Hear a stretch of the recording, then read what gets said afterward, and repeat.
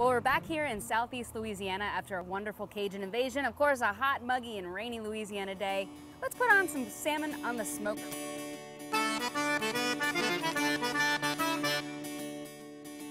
We caught some Kenai sockeye salmon.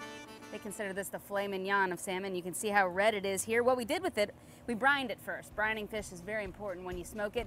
The majority of this brine was a cup of sugar, half a cup of salt, and a quarter cup of soy sauce.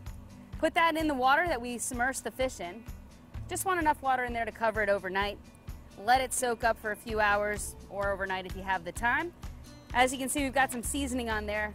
Brown sugar and whatever Cajun seasoning you like.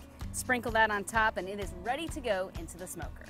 We've got our smoker set on a low temperature. That's going to keep it from drying out. Also, that brine's going to prevent it from drying out. We're going to close this baby up, let it do some work, let it smoke for about two hours, and come back and check it out.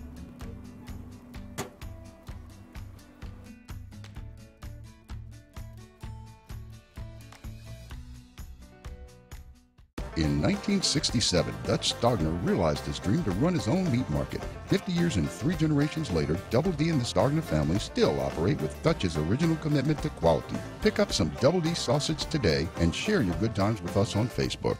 Hi, I'm Donnie Rouse. There are a lot of different reasons to shop at Rouse's. It's the people. Everybody that works here is just so nice.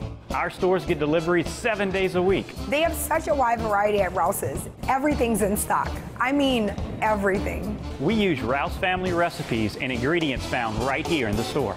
It's the food. Rouse's food tastes like homemade. And they're local. Like us. We also have great prices. That's the difference Rouse's makes.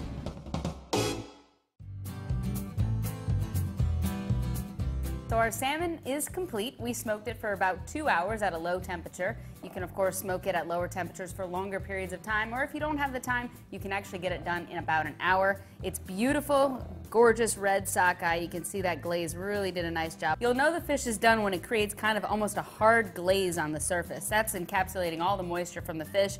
And when you break into it, it's gonna flake. So this is 100% done. Beautiful meat there. No juice is really flowing out of it. They're all kind of into the meat.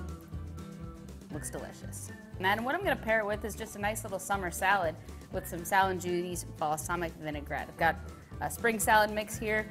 mix that up, plate it up, and get to work. So it's a light, simple, and delicious summer dish. You can, of course, use any kind of salmon, whether it's store-bought or caught yourself. We've got that sockeye here, or the red salmon that was caught on the Kenai River. But again, you can use king salmon, you can use pink salmon, you can use silver salmon. It all tastes just as good.